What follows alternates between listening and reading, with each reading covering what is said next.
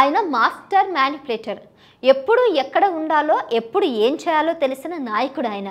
రాజకీయాల్లో అంత లబ్ధి పొందిన నాయకుడు కూడా ఆయనేనని చెప్పాలి.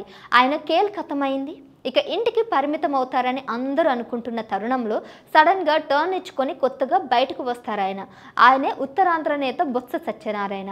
వైసీపీ మొత్తం ఓడిపోయినా ఇప్పుడు ఆయన అనూహ్యంగా కొత్త గెలుపును తన ఖాతాలో వేసుకున్నారు. ఆయన నెక్స్ట్ స్టెప్ ఏంటన్నది పెద్ద సస్పెన్స్ ఇప్పుడు. విజయనగరం జిల్లాకు చెందిన బొత్సకు మొదటి నుంచి ఉత్తరాంధ్ర మీద పట్టుంది. అయితే ఏ పార్టీలో ఉన్న ఆయనకు విజయనగరం జిల్లాకి పరిమితం చేస్తూ వచ్చారు. వైసీపీ హయాంలో ఆయన శ్రీకాకుళం జిల్లా పార్టీ ఇన్ఛార్జిగా నియమితులై అక్కడ కొంత హవా చూపించారు. ఇటీవల జరిగిన సార్వత్రిక ఎన్నికలలో తన సతీమణి బొత్స ఝాన్సీ లక్ష్మిని విశాఖ ఎంపీగా చేయాలనుకున్నారు. కానీ కూటమి ప్రపంచంలో ఆమె ఓటమి పాలయ్యారు. ఇప్పుడు అనుకోకుండా మరో ఛాన్స్ బొత్సకు దక్కింది. ఆయన ఉమ్మడి విశాఖ జిల్లా నుంచి స్థానిక సంస్థల ఎమ్మెల్సీగా నెగ్గారు. దాంతో రానున్న రోజులలో విశాఖ కేంద్రంగా బొత్స రాజకీయంగా చక్రం తిప్పుతారని అంతా భావిస్తున్నారు. ఆయనకు విశాఖలోనూ మిత్రులు ఉన్నారు. ఇక్కడ ఆయనకు వ్యాపార వ్యవహారాలు కూడా ఉన్నాయి. దాంతోపాటు వైసీపీకి విశాఖలో మొదటి నుంచి నాయకత్వం లోటు ఉంది. దానిని భర్తీ చేయడానికి ఆ పార్టీ చేసిన ప్రయోగాలు విఫలమయ్యాయి. దాంతో బొత్స విశాఖ వైసీపీకి నాథుడిగా ఉంటాను అంటే హైకమాండ్ కూడా అడ్డు చెప్పేది ఉండదని అంటున్నారు.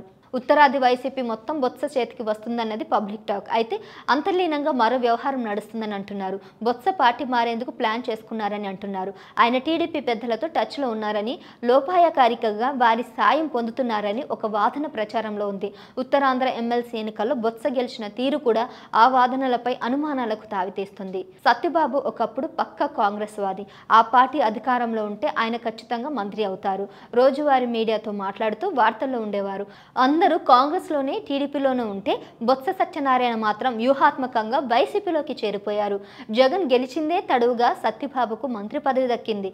రెండున్నరేళ్ళ తర్వాత మంత్రివర్గ పునర్వ్యవస్థీకరణ జరిగినప్పుడు మళ్ళీ కేబినెట్ ప్లేస్ దొరికిన బహుకొద్ది మందిలో బొత్స ఒకరు. ఆయన గేమ్ ప్లాన్కు అధిష్టానానికి మేనేజ్ చేసి తీరుకు అది నిదర్శనంగా చెప్తారు. బొత్స సత్యనారాయణ తన కుటుంబ సభ్యులకు కూడా పదవులు ఇప్పించుకొని ఫ్యామిలీ ప్యాక్ మెయింటైన్ చేయగల నాయకుడు. ఇప్పుడు పార్టీ ఓడిపోయిన తర్వాత బొత్స సత్యనారాయణ పని అయిపోయింది అనుకున్న వారిని ఆయన ఆశ్చర్యపరిచారు. ఉత్తరాంధ్ర స్థానిక సంస్థల ఎమ్మెల్సీ ఎన్నికల్లో పార్టీ టికెట్ కోసం గుడివాడ అమర్నాథ్ లాంటి విశాఖ నేతలు పోటీ పడినా గుట్టుచప్పుడు కాకుండా పావులు కదిపిన బొత్స వైసీపీ బీఫామ్ లాగేసుకున్నారు. పైగా సంఖ్యాబలం చూసుకొని టీడీపీ అక్కడ పోటీ నుంచి తప్పుకోవడం కూడా బొత్సకు కలిసొచ్చే అవకాశంగా చెప్పుకోవచ్చు. బొత్స సత్యనారాయణ ఏకగ్రీవంగా ఎన్నిక ఎమ్మెల్సీగా పదవి ప్రమాణం చేయబోతున్నారు. అయితే అందులోనే పెద్ద ట్విస్ట్ ఉందని కొందరు విశ్లేషకులు అంటారు. బొత్స ముందే చంద్రబాబుతో మాట్లాడుకున్నారని ఒక వాదన. గెలిచిన తర్వాత కొంత గ్యాప్ తీసుకొని టీడీపీలోకి వస్తానని ఆయన హామీ ఇచ్చినందునే చంద్రబాబు తమ అభ్యర్థిని పెట్టలేదని అంటున్నారు. ఆ సంగతి తెలియక జగన్ ఆయన్ను పిలిచి టికెట్ ఇచ్చారని ఈ క్రమంలో ఏదో ఒక రోజున వైసీపీ నష్టపోతుందని అంటున్నారు.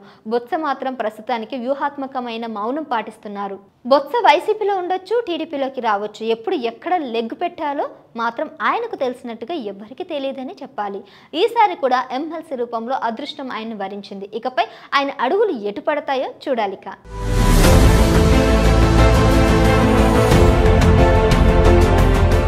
Please subscribe to KTV Telugu KTV Telugu KTV Telugu KTV Telugu KTV Telugu KTV Telugu channel